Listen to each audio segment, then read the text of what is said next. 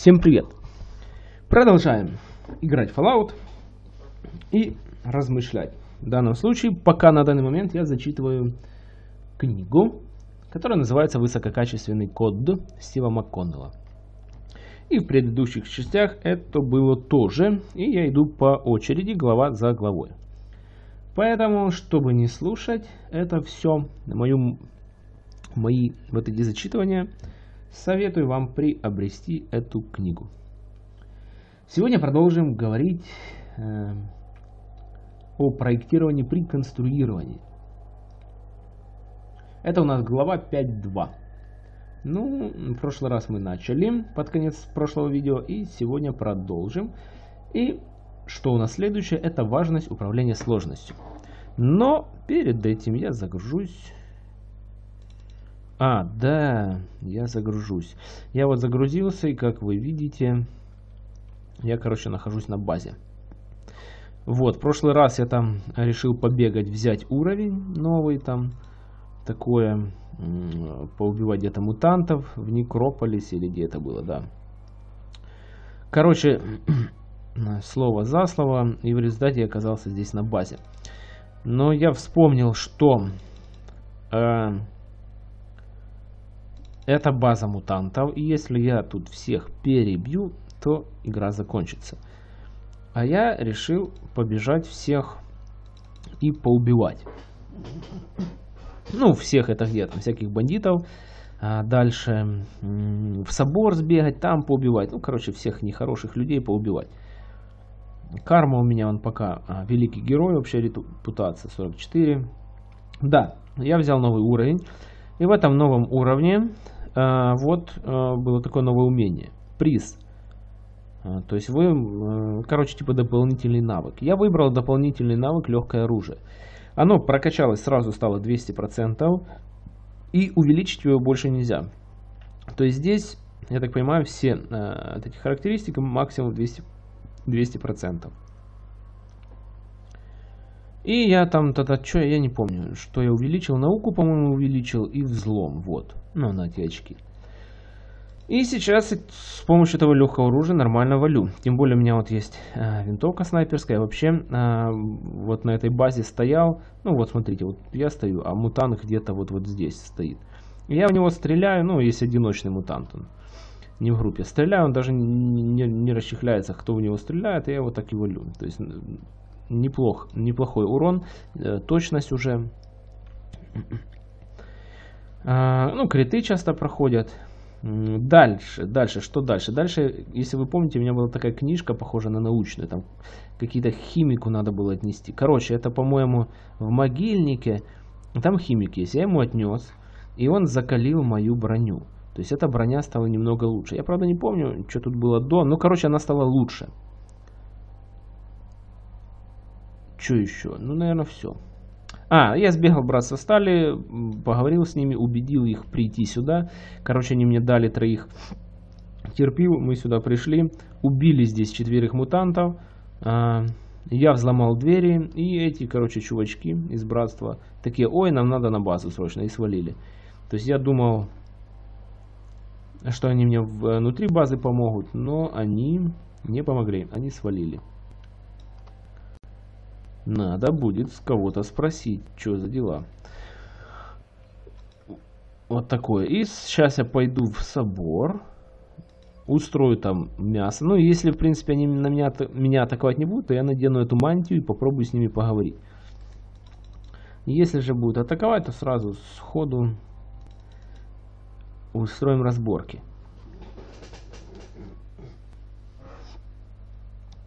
Потому что там одни наркоманы и сектанты. Их можно валить. Ну, конечно, под конец игры э, я вкратце пройдусь по всем этим локациям.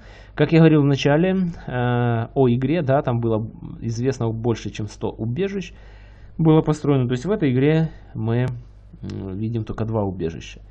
Fallout 2 там нами другие есть убежища, там в третьем, в четвертом, то есть в каждом Fallout есть какие-то там свои особенные убежища.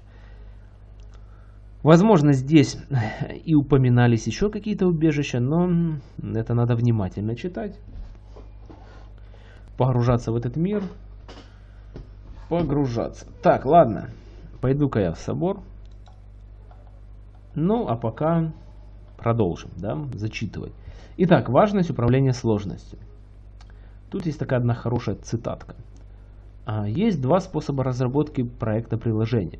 Сделать его настолько простым, чтобы было очевидно, что в нем нет недостатков, или сделать его таким сложным, чтобы в нем не было очевидных недостатков.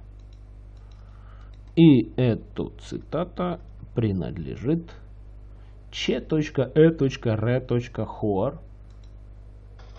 Может быть кто-то знает, кто это такой. Итак, программные проекты редко терпят крах по техническим причинам. Чаще всего провал объясняется неадекватной выработкой требований, неудачным планированием или неэффективным управлением. Если же провал обусловлен все-таки преимущественно технической причиной, очень часто ею оказывается неконтролируемая сложность, что разработчики а, по-настоящему перестали понимать, что же оно делает, то, что получилось. Если работа над проектом достигает момента, после которого уже никто не сможет полностью понять, как а, изменение одного фрагмента программы повлияет на другие фрагменты программы, процесс прекращается. Так, я, наверное, этих мышей перевалю и заодно будем читать. Очередью я могу зацепить нескольких. Нормально. О, сразу троих. Пачками валю. Управление сложностью – самый важный технический аспект разработки программного обеспечения. Нас, э, э, управление сложностью настолько важно, что оно должно быть главным техническим императивом разработки программного обеспечения. Сложность не новинка в мире разработки программного обеспечения – а, один из пионеров информатики Эдгар Дейкстра обращал внимание на то, что компьютерные технологии – единственная отрасль, заставляющая человеческий разум охватывать диапазон, охватывать диапазон, а, простирающийся от отдельных битов до нескольких сотен мегабайт информации, что соответствует отношению 1 к 10 в девятой степени или разница в 9 порядков. Это он говорил в 1989 году. А, такое гигантское отношение может ошеломить или просто ошеломляет. Дейкстра выразил это так. По сравнению с числом а, семантических уровней, средняя математическая теория кажется почти плоской. Создавая потребность в глубоких концептуальных иерархиях компьютерные технологии бросают нам абсолютно новый интеллектуальный вызов, не имеющий прецедентов в истории. А, разумеется, за прошедшее с 1989 года а, сложность ПО только выросла. И сегодня отношение Дейксера вполне может характеризоваться 15 порядками. Вот так вот, ребятки. Но это, конечно же, но, на мой взгляд, не касается всяких недопрограмм. Ну или простых программ, там где три кнопочки, четыре картиночки. Там. Ну это понятное дело. Это касается нормальных таких а, систем, а, полных, функциональных. Так, сейчас, сейчас, сейчас. В которых есть все. Ну, то есть там и, и обработки ошибок, и, ну, короче, все есть. Ну, к примеру, вот игра Fallout. Это, в принципе, полностью законченный проект. И разрабатывался он не, не один месяц. Так, никто меня не атакует, давайте я надену эту мантию. Не понял, надевай. Надевай, сказал. Там мышка глючит. Ниху... А, блин, сюда надо надевать, я туплю. Утро. Утро. Дейкстра пишет, что ни один человек не обладает интеллектом, способным вместить все детали современной компьютерной программы. Это он писал в 1972 году. Поэтому нам, разработчикам программного обеспечения, не следует пытаться охватить всю программу сразу. Вместо этого мы должны попытаться организовать программы так, чтобы в ней можно было безопасно работать с их отдельными фрагментами по очереди. Э, целью этого является минимизация объема программы, о котором нужно думать в конкретный момент времени. Можете считать это своеобразным умственным жонглированием. Чем больше умственных шаров программа заставляет поддерживать в воздухе, тем выше вероятность того, что вы уроните один из них и допустите ошибку при проектировании или кодировании. Приветствую, чем что ты продаешь? Ничего особенного. А, о, он может. Э. Он может торговать. И что у него тут есть? Действительно, ничего особенного. Но мне было бы хорошо избавиться от, вот это, от этого всего. Сколько она потянет? 2400. Один фиг, скоро конец, все равно у меня уже патронов хватает. Ну, в принципе, да, патрончиков прикупить можно было, но... Но это такое. А, блин, еще в свечение надо слазить, точно. Поэтому с базы я что свалил, чтобы не закончить игру, потому что я базу разобью, ту мутантов. И игра закончится, потому что основное, основное здание будет выполнено. Так, там закрыто. Слышь, а ты что, запомнил? Я ж переоделся. Я уже... Ладно, ночью попробую открыть и пробраться. Так. Так, давайте дальше-ка почитаю. На уровне архитектуры программного обеспечения – Э, сложность э, проблемы можно снизить, разделив систему на подсистемы.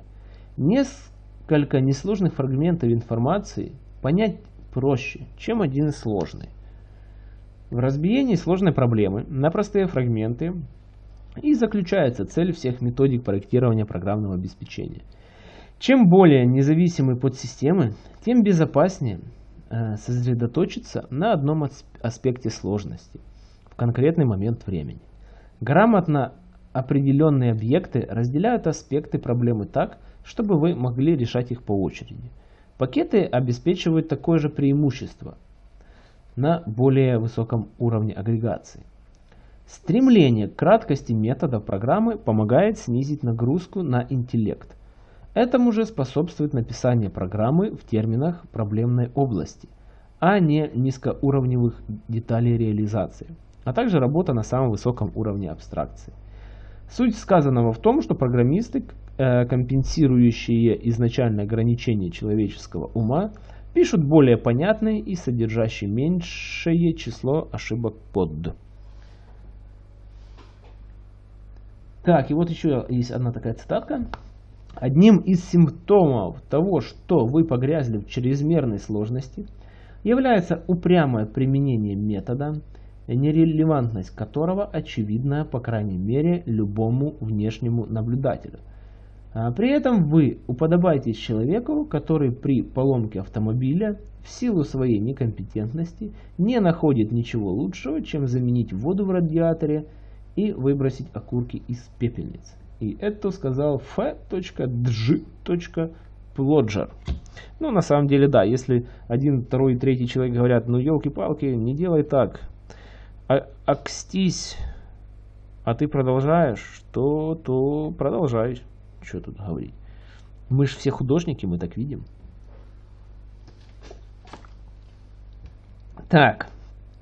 Сейчас продолжим дальше. Сейчас я с этим перетру. Что тут и как тут. Так, мне нужно было поговорить. Слышишь ты, кто здесь главный? Так, вряд ли пусть и дитя ночи.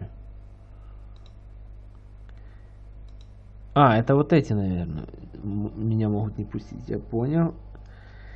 Короче, там где-то какой-то чувак, и мне надо туда. А меня туда эти Дети ночи пускать не хотят. Не, ну там по-любому был вход. Я когда-то как-то туда входил. А, но, ну, по мирному, тут, тут много решений одной и той же э, проблемы. По мирному входил, а по немирному проще всего. Так, сейчас гляну. Тут вроде больше ходов, да, ниоткуда нету. Значить, значить. Значит, я попробую дождаться ночи их взломать. До полуночи.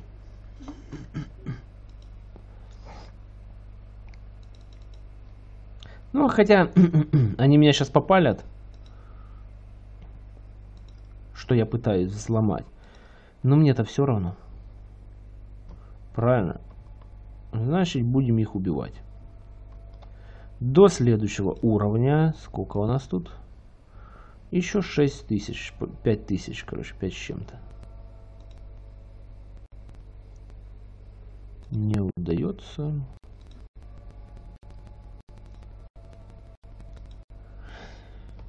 Так. Как бороться со сложностью? О, нормально. Никто ничего не попалил. Дебилы. Ну, у них мозги от, отуманены э, наркотой всякой, поэтому они... Я не, не могу отдыхать. Как так? Как так-то? Я понял, э, я хочу вниз спуститься. Сейчас, ребятки, я вниз спущусь. Где тут? Вот это? Ну, до утра. Потому что ночью ходить что-то мне не по приколу. Ну, мало что видно. Так, два часа. Во. И теперь пойдем. Там еще второй этаж, оказывается, есть. Смотрите. Это раз этаж, и вон еще есть. Ух ты! Дети ночи. Какие-то, смотрите, прозрачные чуваки. Ничего себе. А мы же тут... Ты хочешь убить меня? Хрен не знаю.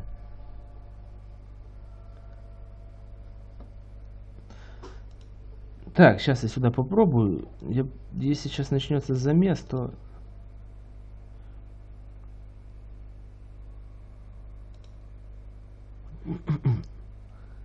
Так. О, ну и все. О-оу. Да, выделалась, она была... Надо было сохранять. Ладно. Итак, я сейчас со старта туда зайду и начну всех хвалить. Итак, как бороться со сложностью? Чаще всего причинами э, неэффективности являются следующие. Эм, сложное решение простой проблемы. Простое, но неверное решение сложной проблемы. Неадекватное сложное решение сложной проблемы. Как указал Дейкстра, сложность современного программного обеспечения обусловлена самой его природой. Поэтому, как бы вы ни старались, вы все равно столкнетесь со сложностью, присущей э, самой проблеме э, реального мира. Исходя из этого, можно предположить двойственный подход к управлению сложностью. Старайтесь свести к минимуму э, объем э, существующей сложности, с которым придется работать в каждый конкретный момент времени. Сдерживайте необязательный рост несуществующей, точнее несущественной сложности. Как только вы э, поймете, что все остальные технические цели разработки программного обеспечения вторичны по отношению к управлению сложностью, многие принципы проектирования окажутся простыми.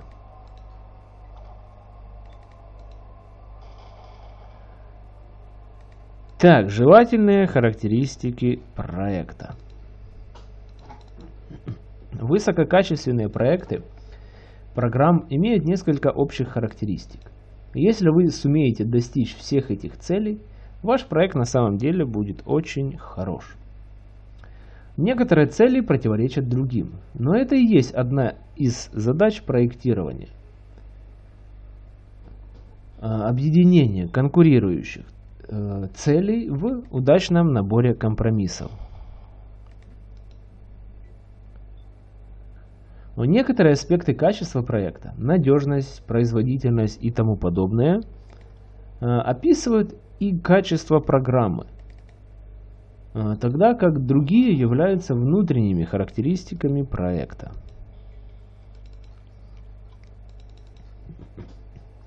И вот список таких э, внутренних характеристик проекта. Я передумал, давайте я сбегаю в свечение. Я сейчас в свечении там попробую еще раз полазить. У меня, в принципе, он броня есть а, улучшенная. Куча этого антирадина всякого. А, то я там положу, вдруг я там что-то найду, какую-нибудь, ну, не знаю там. Не знаю, что-то найду, вот такое, что-то вот такое.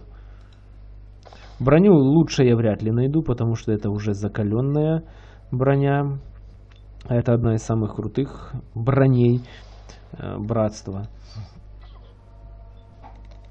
Но может оружие какое-то. Хотя у меня как бы энерго не прокачано. А там, если я найду, то какой-то энерго... Ну, посмотрим. Так, желательные характеристики проекта. Э, минимальная сложность. В силу того, в силу только что Э, описанных причин главной целью проекта должна быть минимизация сложности. Избегайте создания хитроумных проектов. Как правило, их трудно понять. Вместо этого создавайте простые и понятные проекты. Если при работе над отдельным фрагментом программы проект не позволяет безопасно игнорировать большинство остальных фрагментов – он неудачен. А вы неудачник. Ну, шутка, на самом деле все бывает. А, так, далее. Простота сопровождения. А, проектируя приложение, не забывайте о программистах, которые будут его сопровождать.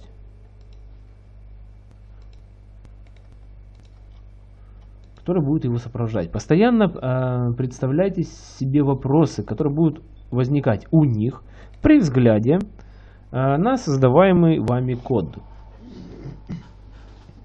Думайте о таких программистах, как о своей аудитории.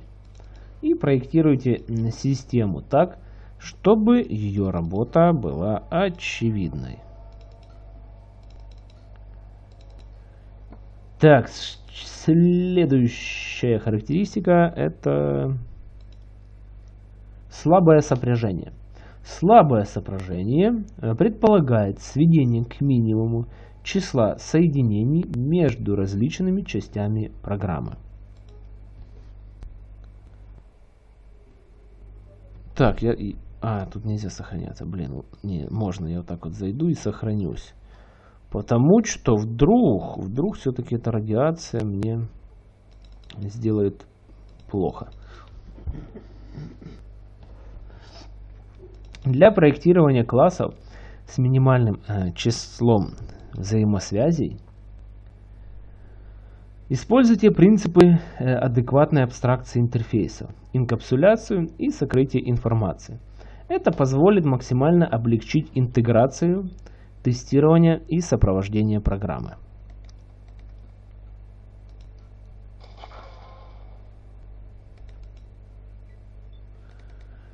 Так, далее у нас. Дальше у нас идет расширяемость.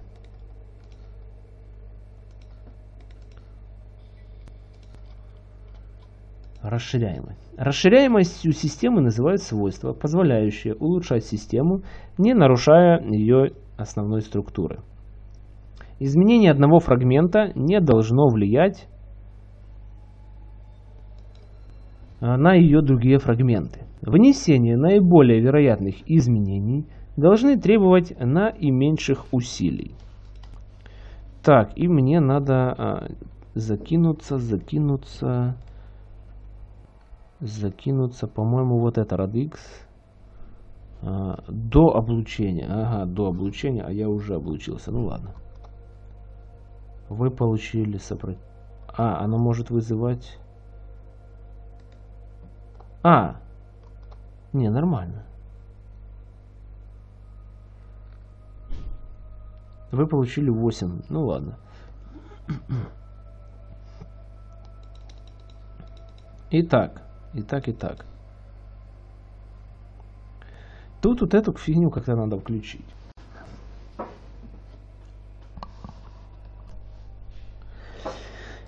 Так, что у нас дальше? У нас дальше идет возможность пов...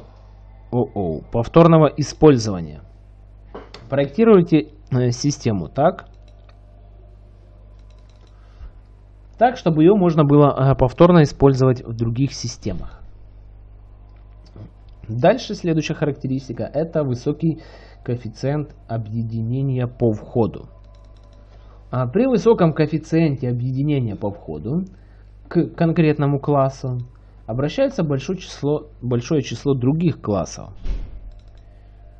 Это значит, что система предусматривает интенсивное использование вспомогательных низкоуровневых классов. Далее. Э, низкий или средний коэффициент разветвления по выходу.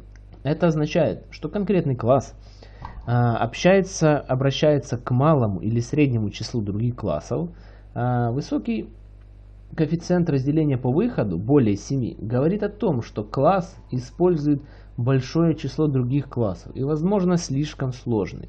Ученые обнаружили, что низкий коэффициент разветвления по выходу выгоден – как в случае вызова методов из метода, так и в случае вызова э, методов из класса. Соответственно, нужно стараться, чтобы ну, в идеале был низкий, ну или средний уже коэффициент разветвлений по выходу. То есть, я думаю, поняли, да?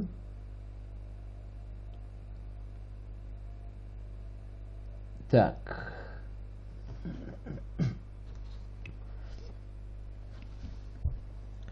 Так, так, что у нас тут? Управление, ну, резервное включено. А ну-ка, основной.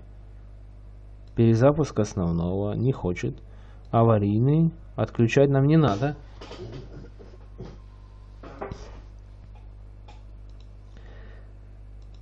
ну, так этот я включил. А как же... Тут больше ни один компьютер не работает. Все вроде сломаны.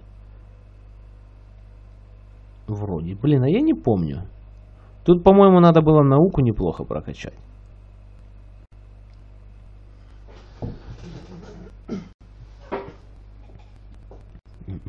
По-моему. Вроде здесь компьютеров больше нету. Вот смотри, я подхожу, пытаюсь открыть. А оно нифига. Попробую электронную отмычку. Да, блин.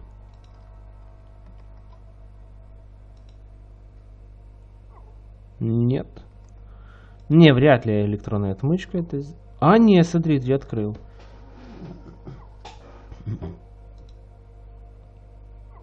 Да, я-то открыл, только зайти не могу. Может, надо... Не, это фигня, короче. Двери-то я взломал. Но... Но ничего сделать не могу. А лифт есть, и он должен работать. А если я сейчас отключу... Ну, вот это ж это не рабочий компьютер. Тут работает только вот этот. Что если я сейчас аварийный отключу? Вот, отключил. Лифт стопудово не работает. Ну, погнали.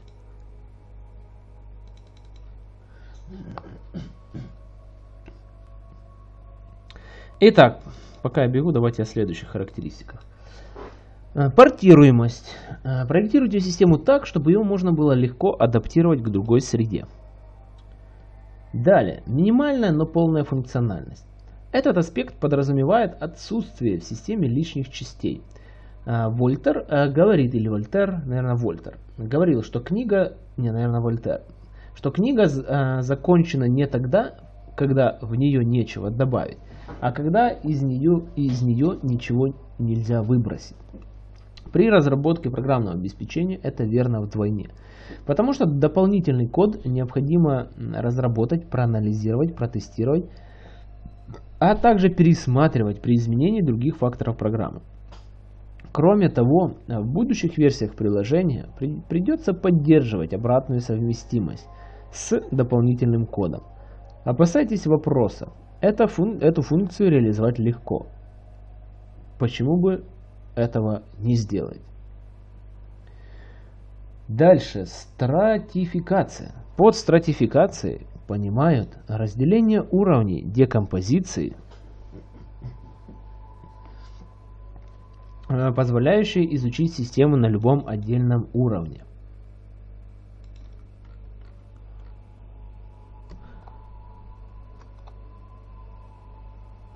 Так, на любом отдельном уровне. И получать при этом согласованное представление.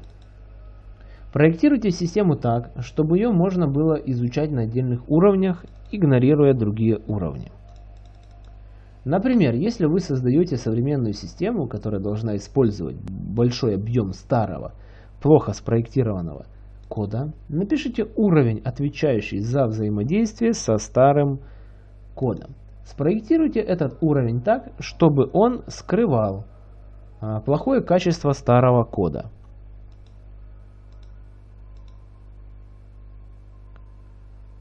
А, предоставляя а, более новым уровням согласованный набор сервисов. Пусть остальные части системы работают с этими классами вместо старого кода. Такой подход сулит два преимущества. Первый, он изолирует плохой код, и второй, если вы когда-нибудь э, решите выбросить старый код или выполнить его рефакторинг, вам не придется изменять новый код, за исключением промежуточного уровня. Так, ч, блин, ну как, как? Это же было несложно это все. Ну, я имею в виду вот здесь. Ну, может где-то было написано как, или, короче, я уже не помню. Вы, если кто-то будет играть, то внимательно это все делайте. И, ну, наука тут в любом случае нужна была. А дальше как бы особо ничего сложного здесь не было. А, вон ящичек. Сейчас бегаю еще ящичек гляну. И попробую этот а, пропуск все-таки на лифте использовать. Что это такое? Карта доступа. Но я-то двери взломал без карты доступа.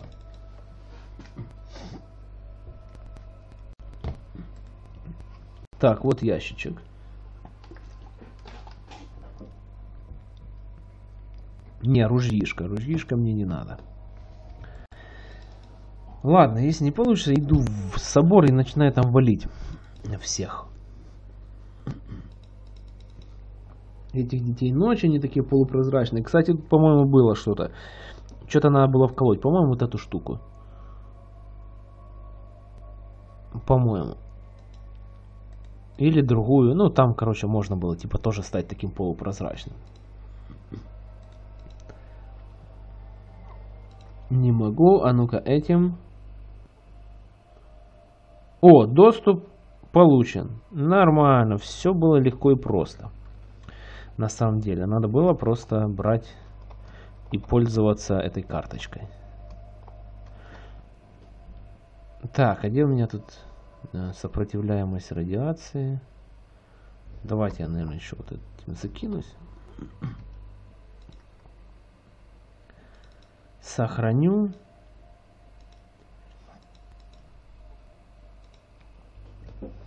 Там, по-моему, еще другие уровни будут, э, для которых нужны другие карточки. Но это сейчас все найдем.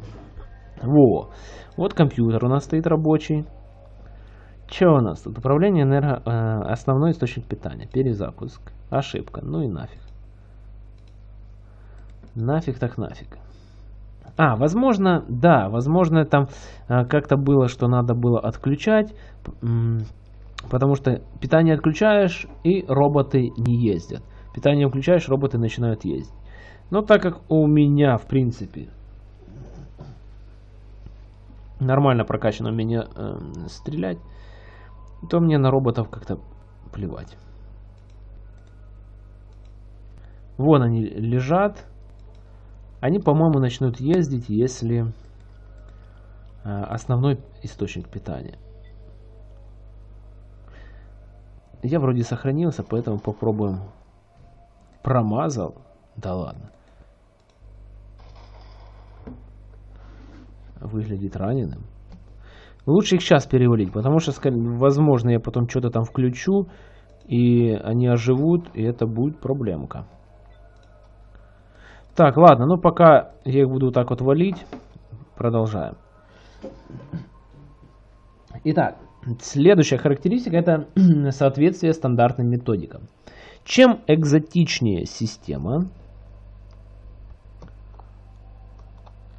сейчас,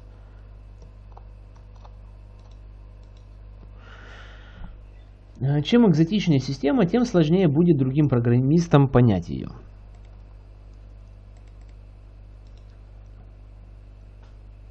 Попытайтесь придать всей системе привычный для э, разработчика облик, применяя стандартные популярные подходы. Ну и что у нас тут дальше? У нас тут дальше э, уровни. Уровни проектирования. Э, проектирование программной э, системы требует несколько, нескольких уровней детальности. Некоторые методы проектирования используются на всех уровнях, а другие только на одном-двух.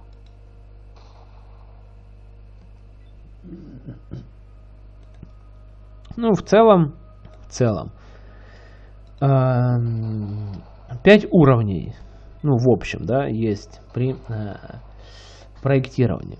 Первый уровень – это у нас программная среда. Второй уровень – это разделение системы на подсистемы, пакеты, библиотеки. Третий уровень – разделение этих пакетов библиотек э, на классы. Четвертый уровень – разделение классов на данные и методы. Методы, функции. Э, и пятый уровень – это уже проектирование непосредственно самих методов. Итак, Первый уровень, как я сказал, это программная система. Первому уровню проектирования соответствует вся система. Некоторые программисты системного уровня эм, э,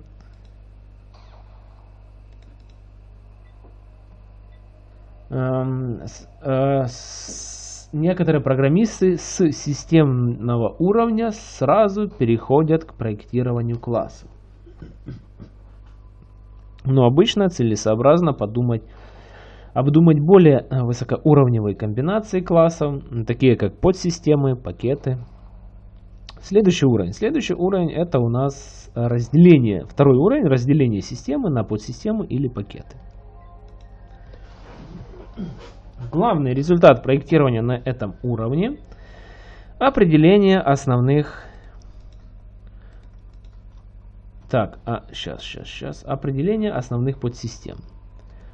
Э, подсистемы могут быть э, довольно крупными, такими как модуль работы с э, базами данных, модули UI, модули бизнес-правил или создание отчетов, интерпретатор команд и так далее и тому подобное.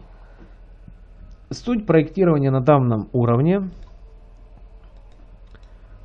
заключается в разделении программ на основные подсистемы и определении взаимодействий между подсистемами. А, обычно этот уровень нужен при работе над любыми проектами, требующими более нескольких недель. При проектировании отдельных подсистем можно применять разные подходы. Выбирайте тот, который кажется вам оптимальным на каждом конкретном случае.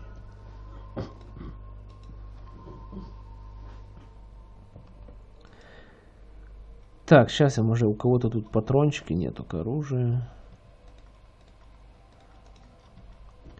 оружие. Сохранюськая.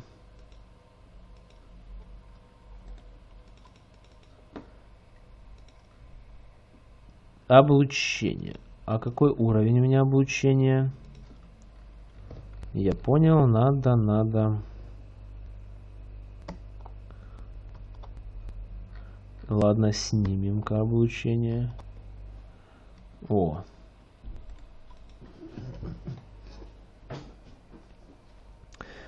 Так, особенно важный аспект э, этого уровня – определение правил э, взаимодействия подсистем. Если все подсистемы могут взаимодействовать, выгода их разделения исчезает. А, подчеркивайте суть подсистем, ограничивая их взаимодействие между собой.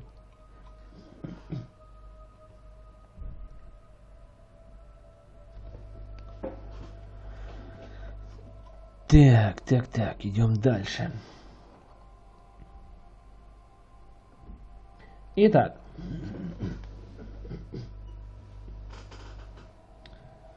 при э, взаимодействии систем друг с другом э, у нас появляются э, несколько вопросов. В скольких разных частях системы нужно э, хоть немного разбираться разработчику, желающему изменить какой-то аспект подсистемы графических, к примеру, операций. То есть, к примеру, вот здесь тут нарисовано, ну, схематически нарисована какая-то там программа, а, в которой есть 6 э, подсистем. И первая система это пользовательский интерфейс, вторая графические операции, третья подсистемы хранения данных, четвертая классы уровня приложений, пятая подсистема бизнес-правил. И шестая инструменты уровня предприятий. И вот, и при таком разделении вот этот вопрос, да, в скольких разных частях системы нужно хоть немного разбираться разработчику, желающему изменить какой-то аспект подсистемы графических операций. Следующий вопрос. Что будет, если вы попытаетесь задействовать данный модуль бизнес-правил в другой системе? Что будет, если вы захотите включить э, в систему новый пользовательский интерфейс, например, интерфейс с командной строкой? удобный для проведения тестирования. Что произойдет, если вы захотите перенести э, модуль хранения данных на удаленный компьютер? То есть идея в том, чтобы, чтобы, чтобы э, были минимальные ну, взаимосвязи между системами. Ну, по минимуму. Потому что довольно часто приходится менять модули а этот модуль тянут изменения, там эти модули изменяемые тянут изменения в других модулях, и в результате, в результате получается все очень сложно. Так, вроде тут ничего нет. Ладно, идем дальше.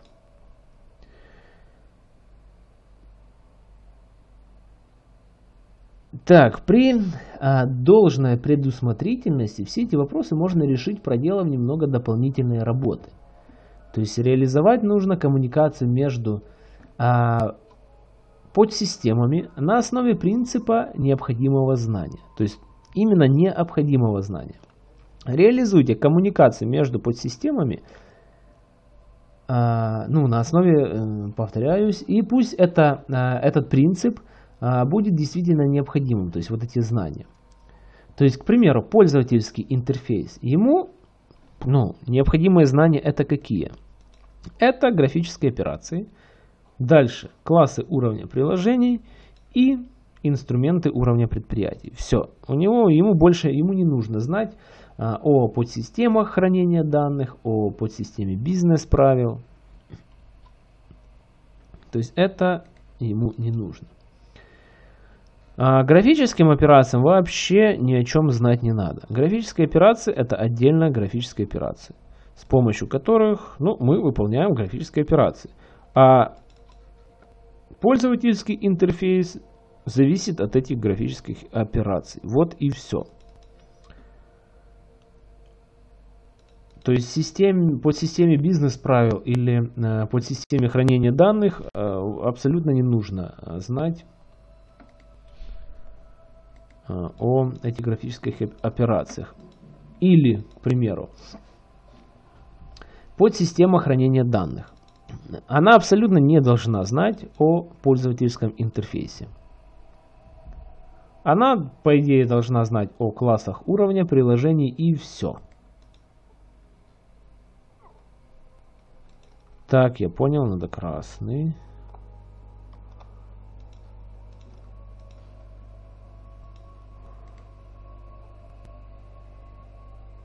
Не понял. А что такое? Желтый, наверное.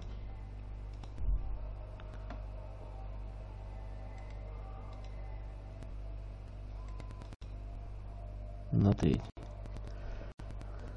Так, чтобы соединения подсистем были понятными и легкими в сопровождении, старайтесь поддерживать простоту. Так, еще раз. Нельзя. Старайтесь поддерживать простоту отношений между подсистемами. Самым простым э, отношением является то, при котором одна подсистема э, вызывает методы другой. Более сложное отношение имеет место, когда одна подсистема содержит классы другой. Самое сложное отношение э, – наследование классов одной подсистемы от классов другой.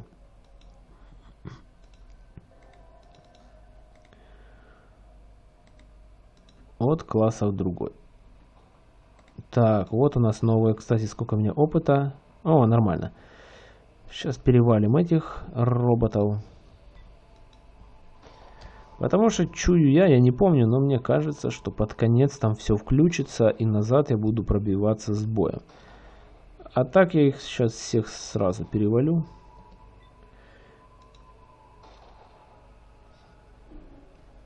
Так, придерживайтесь одного разумного правила. Диаграмма системного уровня должна быть ациклическим графом. Иначе говоря, программа не должна э, содержать циклических отношений, при которых класс А использует класс Б, класс Б использует класс С, а класс С использует класс А. То есть поняли, да? Никаких циклических отношений. И тогда э, будет вам счастье. И, возможно, прибавка к заработной плате. Или, если это ваш собственный проект, скорейшее его завершение. Ну и все такое. Так, при работе над крупными программами и программными комплексами проектирование на уровне подсистем просто необходимо. Если вам кажется, что ваша программа достаточно мала, чтобы проектирование на уровне подсистем можно было бы э, пропустить, хотя бы примите этот э, вопрос сознательно. То есть вам кажется, что такого проектирования не нужно на уровне подсистем, вы сели честно для себя, сказали «да, не нужно». И честно для себя вы как бы этот этап прошли. То есть приняли решение осознанно и вроде все, все честно. Так, идем дальше. Итак, какие часто используемые э, есть подсистемы? Это у нас первая подсистема. Подсистема бизнес-правил. Э, бизнес-правилами называют законы, директивы, политики и а, процедуры, реализуемые в компьютерной системе.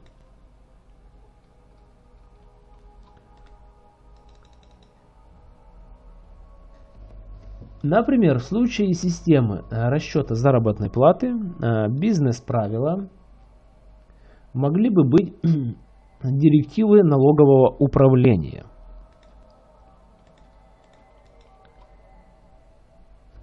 определяющая разнообразные виды налогов. А дополнительным источником а, правил могло бы быть соглашение с профсоюзом, регламентирующее оплату сверх, сверхурочной работы, отпуска и тому подобное. При создании программ для агентства по страхованию автомобилей правила могут быть основаны на соответствующих государственных законах. Так, дальше. Дальше это у нас а, подсистема пользовательского интерфейса.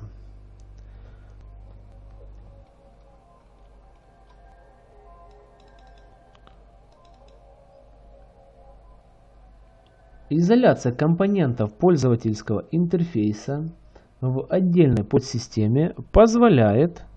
Так, вот это я заберу.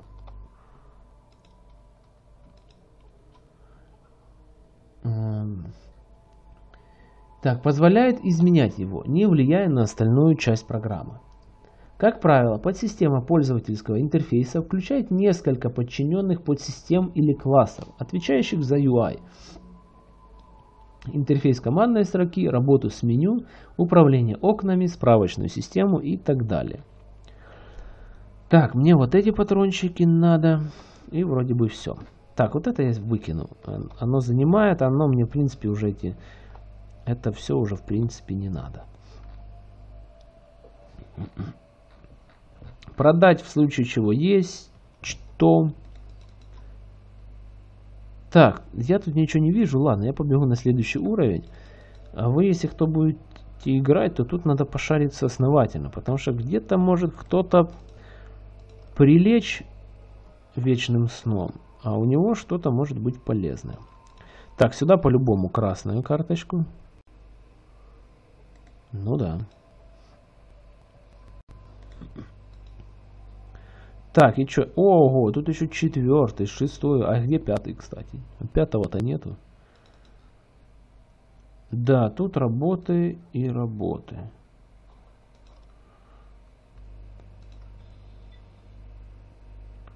Не понял. А что, те желтые? Вы видели? А, уже все. Так, подсистема доступа э, к базе данных.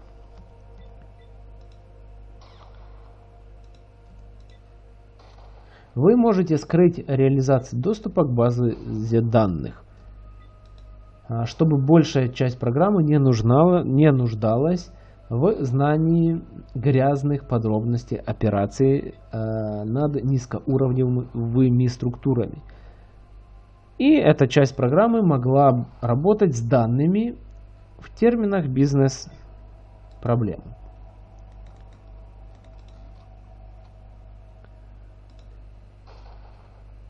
Подсистемы, скрывающие реализации, э, детали реализации, обеспечивают важный уровень абстракции, снижающий сложность программы. Э, они концентрируют операции над базами данных, в одном месте и снижают вероятность ошибки, ошибок при работе с данными, а также позволяют легко изменять структуру э, баз данных без изменения большей части программы. Ага, вот это походу на пятый уровень. Так, ну я сначала, наверное, на шестой съезжу все-таки. Так, там все сделаю. А потом а потом поеду на, на пятый. А потом надо валить отсюда.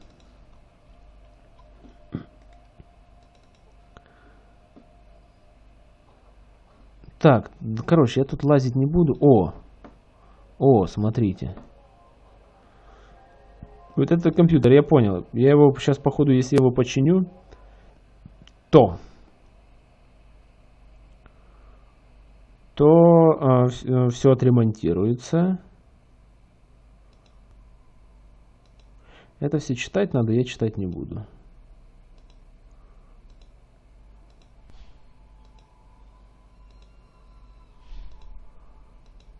Так, выход электроинформации об исследованиях. Тут можно почитать, что такое вот этот вирус, что такое то, что такое все. Короче, тут а, много всего, сведения о сотрудниках. Ого. Скопировать силовая броня, скопировать в ре, скопировать в пибой. И тут, по-моему, его можно отремонтировать. По-моему, если я не ошибаюсь. Ну, ремонт у меня вот такой. 73. Вы не можете... Короче, это надо внимательно быть. Но, насколько я помню, вроде бы это всю ерунду можно отремонтировать. Отремонтировать. Потом включится основное питание. Вот давайте сделаем вот так вот. А, об этой установке. Еще раз. В шахматы.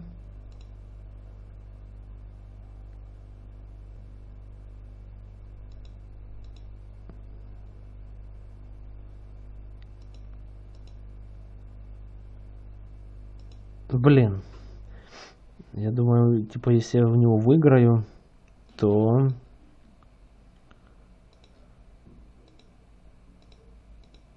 Так, аварийный. Если я отключу сейчас аварийный... Дальше.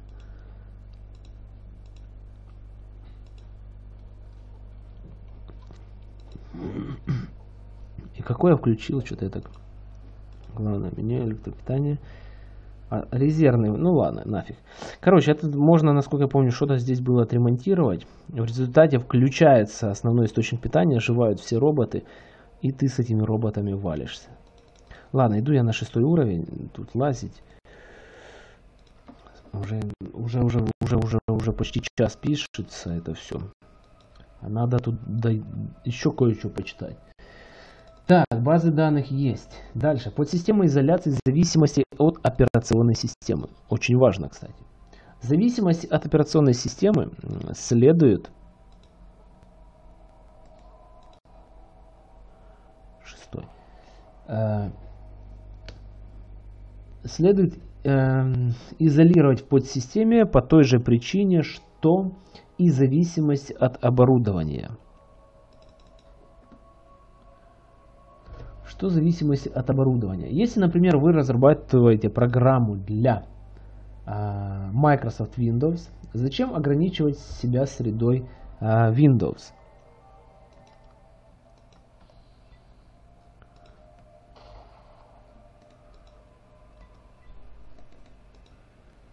Изолируйте вызовы Windows в специализированной интерфейсной подсистеме.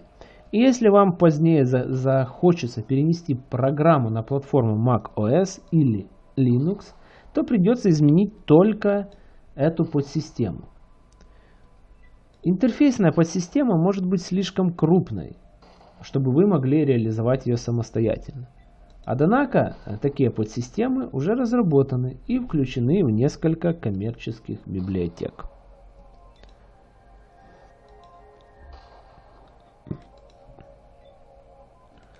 Так, перезарядимся.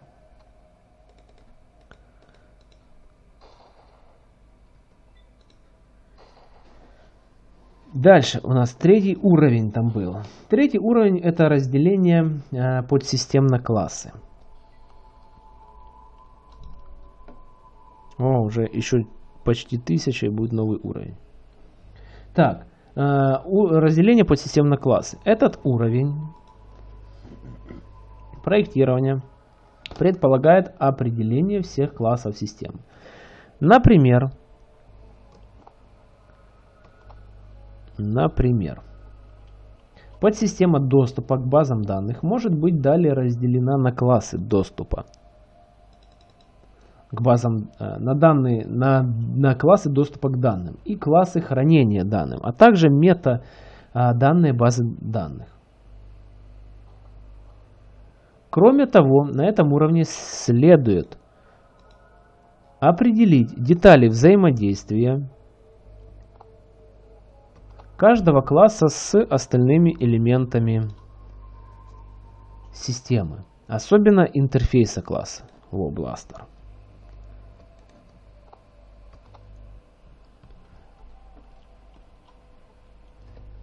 В целом, сутью проектирования на данном уровне является декомпозиция подсистем до такого уровня детальности, а, который позволит реализовать части подсистем в форме отдельных классов. Разделение подсистемы, подсистем на классы обычно требуется во всех проектах,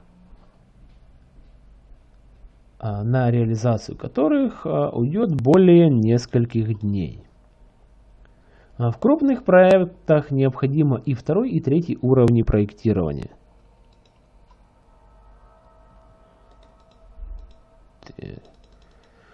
При работе над совсем небольшим проектом второй уровень проектирования можно пропустить. Итак, классы и объекты. Ну, это дальше у нас да, идет по книге. Что это? Что тут написано? Классы и объекты. Один из ас важнейших аспектов объектно-ориентированного проектирования а, это различие между объектами и классами. Объект это любая конкретная динамическая сущность, имеющая конкретное значение и атрибуты, и существующая в период выполнения программы. Класс – это статическая сущность, с которой вы имеете дело, просматривая листинг программы. Например, вы можете объявить класс person, а, имеющий такие атрибуты, как фамилия, возраст, пол и тому подобное. В период выполнения вы будете работать с объектами. А, ну, тут разные имена, типа Вася, Петя, Сережа, Диана и тому подобное. Иначе говоря, со специфическими экземплярами класса. Если вы знакомы с терминологией баз данных, различие между классом и объектом аналогично различию между схемой и экземпляром. Класс можно рассматривать как форму для выпечки булочек, а объекты как сами булочки. Вот так вот.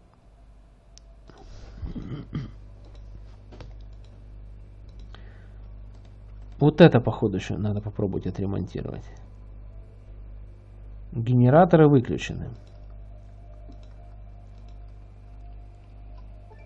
О, вот я, я отремонтировал генераторы. Ах, ребятки, сейчас я... Ладно, включим, включим основной источник питания. Есть, вот.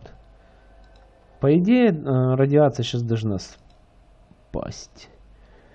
Так, новый уровень. Новый уровень. Как вы видите, легкое оружие я уже прокачать не могу максимально. Что нам прокачать? Энергооружия смысла нету. Просто, ну, я не наберу уже столько уровня. У меня 13 уровень, мне хотя бы 14. И, и то вряд ли. Ну, поэтому... Поэтому... Поэтому... Поэтому даже не знаю. Холодное оружие, да нафиг? Ловушки, наука, ремонт может быть. Науку может быть до 100. Вот так вот. 90. Будет наука.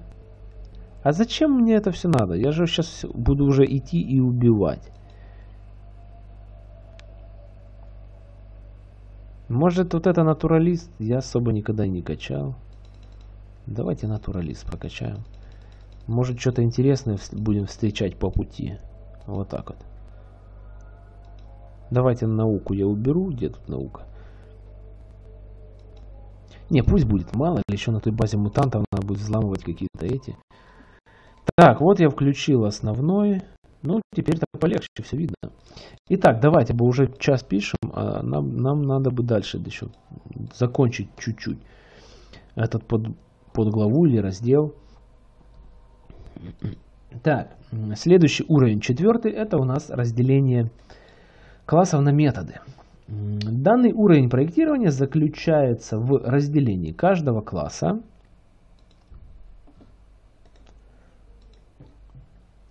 на методы. Некоторые методы уже будут определены на уровне 3. Это ничего не даст. Как ничего не даст? Как? Походу мне надо найти какую-то новую карточку. Потому что вот... Да, блин. Ладно. Вот, да. Мне надо доступ найти. Ладно. Так, а некоторые методы уже будут определены на уровне 3 при проектировании интерфейсов э, классов. На уровне 4 вы сможете детально определить закрытые методы классов. А при этом многие методы окажутся простыми, тогда как другие будут включать иерархии методов и потребует дополнительного проектирования. Полное определение методов класса часто позволяет лучше понять его интерфейс, что а, может подтолкнуть к соответствующему... А, так, где тут, блин, потерял? Что может подтолкнуть к соответствующему изменению интерфейса. То есть к возвращению уровня 3. А четвертый уровень декомпозиции и проектирования часто оставляет э, отдельным программистам и необходим в любом проекте, требующем более нескольких часов. Формально выполнять этот этап не обязательно, но хотя бы про себя выполнить его нужно.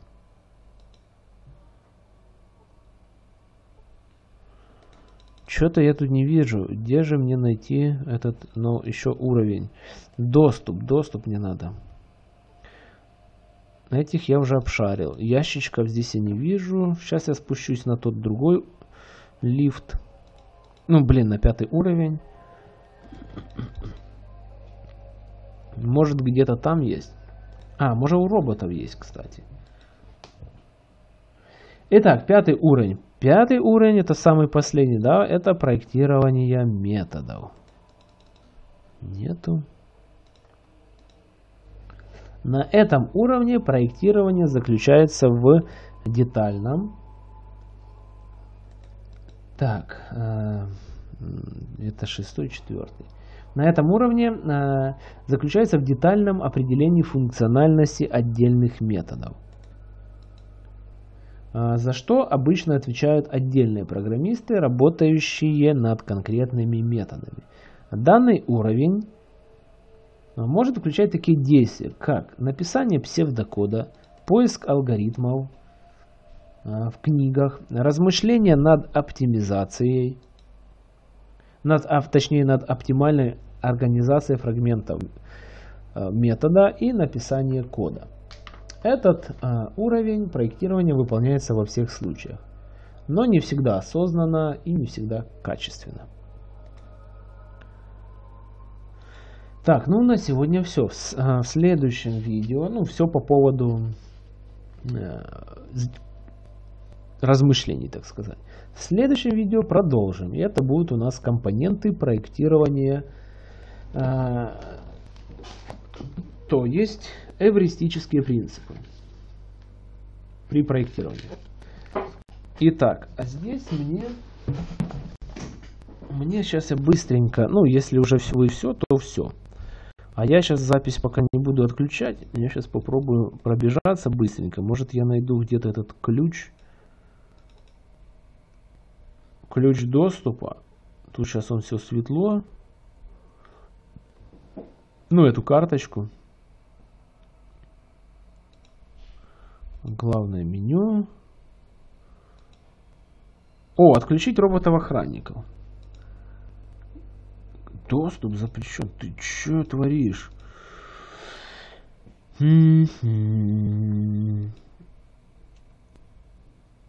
Нет, ну вот доступ не хочет, да, электропитание. Отключить основной. Не, не надо. Э, Система безопасности. Отключи роботов.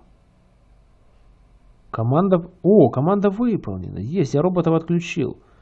Но они-то все равно мертвые все. Вот если бы еще двери мне пооткрывать все.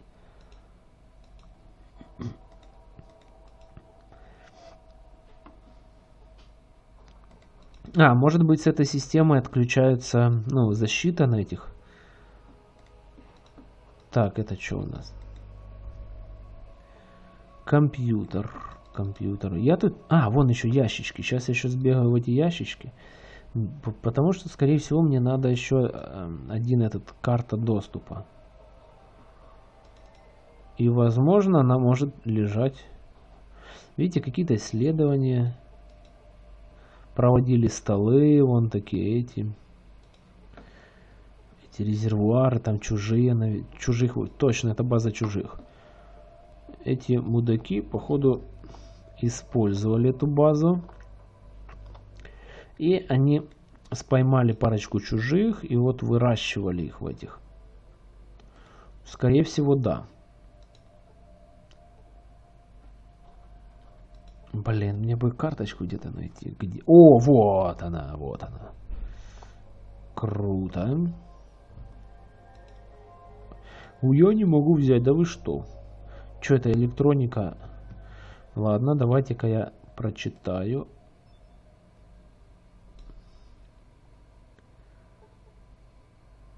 Так, вот это прочитаю.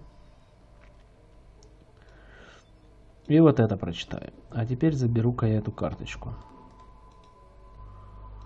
Вот. И теперь-ка я ее положу вот сюда. Кстати, да, прочитал я книжек уже в целом-то немало прочитал. И тут нормально у меня подняты уже характеристики. А у этих, у Братства Стали я там попроводил операции, поподымал. А вот эти характеристики. Там осталось только поднять эту, по-моему, восприятие. А у меня уже денег не было, как вы помните.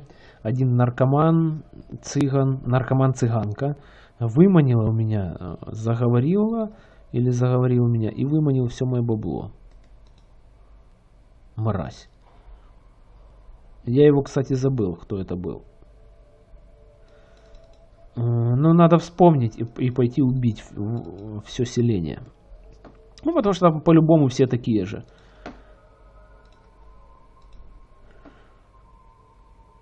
Так, поле отключено. Сейчас я... Роботов я отключу. Вот, пятый уровень, да. Вот мне как раз надо было сюда. Вот, роботов я отключил. Я их, конечно, сейчас перебью всех, но...